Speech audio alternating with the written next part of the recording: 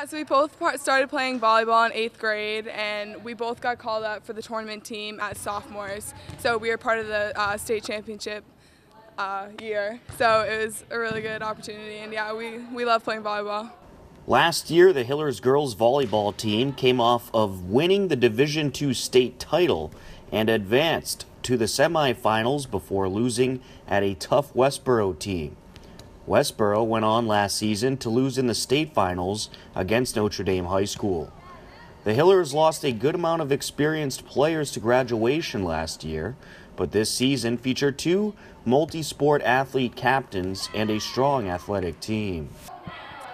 Uh, yeah, so we were both chosen uh, captain as captains this year. So uh, we, our role is to get everyone hyped up and lead the team, make sure everything's organized, and yeah. So.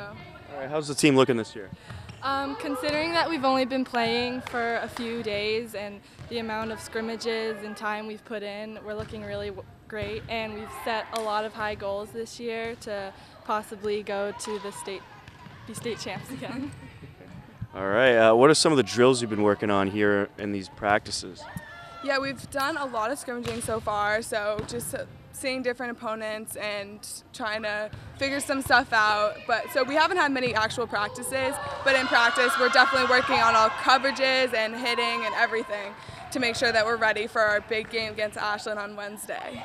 Excellent. And I understand some young players on the team. How's the uh, team chemistry going so far? Um, it's going awesome. We do a lot of stuff outside of the gym, like going out to eat and stuff. So our bonding's going really well.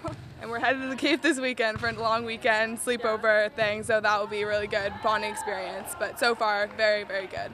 Nice way to kick off the season. Yes, definitely. Um, hey guys, this is the 2016 uh, varsity volleyball team.